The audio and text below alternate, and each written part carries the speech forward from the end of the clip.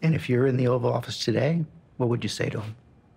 Resign. He's utterly incapable of leading this country. And it's dangerous to allow him to do so. President Trump's niece, Mary Trump, calling for her uncle's resignation and also telling National Public Radio this afternoon that the president is emotionally and psychologically unfit for office.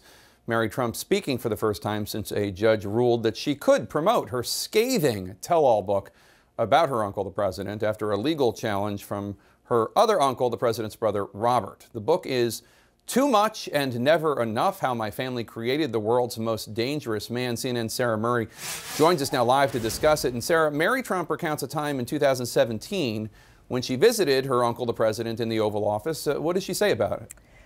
That's right. You know, this book has a lot of her insights and a couple of her interactions since Donald Trump became the president. And one of them is his visit to the Oval Office soon after he won. And she describes how he already seemed overwhelmed by the job. Listen.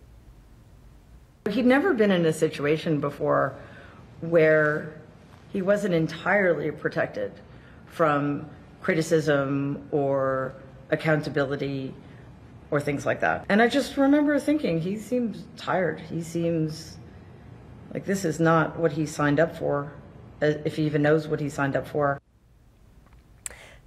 She said that the president at that point went on and said, you know, they're not going to get me. And this was just after he had taken office, Jake. Yeah, and, and Mary Trump uh, has a PhD. She diagnoses the president and all the things that she says he has wrong with him psychologically.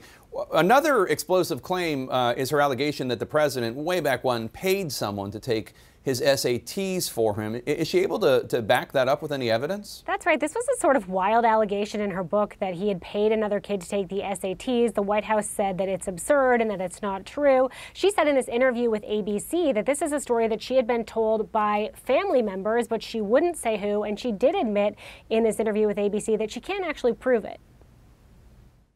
Can you prove it's true? Can I prove? Uh, no, because I I'm counting on people I trust who told me this story. So in terms of documentation, no, I can't prove it, but I can certainly uh, say with 100% certainty that I was told this story by a, a source very close to Donald. Now, despite saying that she can't prove it, she went on to say in that interview that she's absolutely confident it's true. And Jake, as you pointed out, she does have a PhD. She has a background in clinical psychology. And so she sort of brings that to the table throughout the book, throughout these various interviews, where she really describes Donald Trump throughout his life as someone who was constantly lying, constantly cheating, constantly kind of doing whatever he needed to do to get ahead.